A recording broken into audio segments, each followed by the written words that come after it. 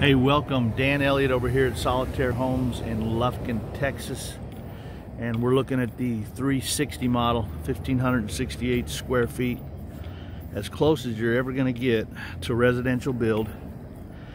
And some very fortunate person is gonna save a lot of money on this house over the next week because it's going one way or the other.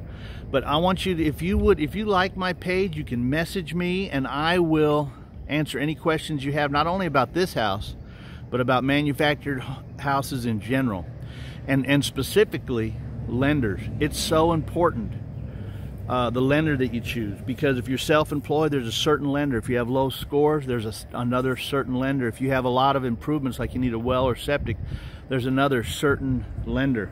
And regardless of who you're gonna buy a manufactured home from, I will be that, uh, that information center to you.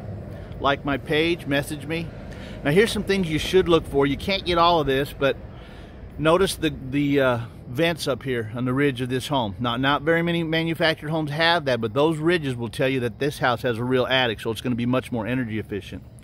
The thicker shingles, that's a 30 year shingle, you wanna look for that. And you don't want to necessarily do vinyl siding. You want to go more for the wood siding, okay? Regard again, regardless of what manufacturer you choose, I'll tell you what to look for, okay? So uh, the lenders, uh, that we use. I've also got a lender. If you've got perfect credit, I've got the right lender for you. Uh, and you will you can get as low as 5.2% interest rate with no closing costs, and that's as good as 4% with closing costs. So amazing. Uh, okay, so this house, 1,568 square feet, very open floor plan. One another thing, uh, regardless of who you buy your manufactured home from, you want to look for the sheetrock. The half inch tape and textured sheetrock is really important. Those little strips on the wall are energy drainers, okay? Now sometimes you have got a certain budget you're trying to meet and you can't get there with sheetrock. I understand that. And I'll help you make that decision if you call me or message me. But uh, two decent sized bedrooms in this house on this end, okay? Uh, here's a nice feature, one piece fiberglass showers. Those are really good. And then real wood cabinetry. It's hard to find. Can't always get real wood, but you might be able to at least get wood faces because over, over time, that vinyl stuff's gonna wear off. This house actually has flat ceilings because it has a real attic, so that's a plus too. Eight and a half foot tall ceilings. But uh, galley kitchen and uh, countertops are, are, are, are sort of a weakness for us, the Formica countertops, but they're not really a weakness because you pick out whatever you want at Lowe's, or, or actually I'm using Home Depot now, and, uh, and we'll have them installed as the house is being put together. But here's something you can't change. You can't change the real wood in the subfloor, which this is plywood subfloors, and the real wood in the cabinets.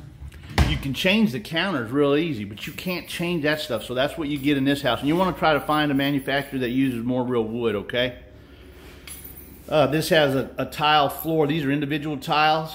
Um, they're P, uh, C, they're, they're PVC, CPVC, and they're, they're really stout.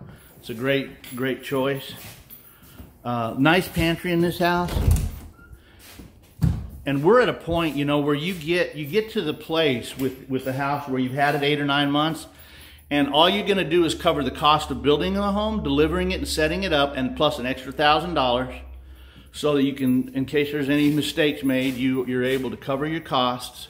And that's where we're at on this particular house. So this week I am going to literally, and when I say give it away, that doesn't mean it's not going to cost anything, but you, you're at a place where you don't have to worry about the dealer trying to, you know, tear your head off and make a bunch of money.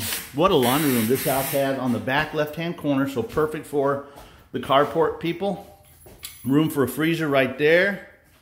All right, washer dryer there, back door there and it goes right in to the master bathroom.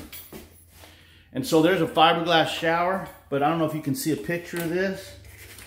But here's a shower. If you want to tile a shower up, I can tile that shower in there for you, okay? So that's that's cool. You know, we customize these houses for you because the things you can't change, the ceiling walls and floor are what are stout beyond belief in our homes. And then the things that you can change, countertops, flooring, and showers are, are the things that we customize for you. But I'm gonna, if you tell me what manufacturer you're looking at, I'm gonna help you figure out, this is the closet and that's where you have to keep your supplies, okay? Wood dowels, I like that. Decent sized master. It's not huge, but it's, you, you could get a king in here.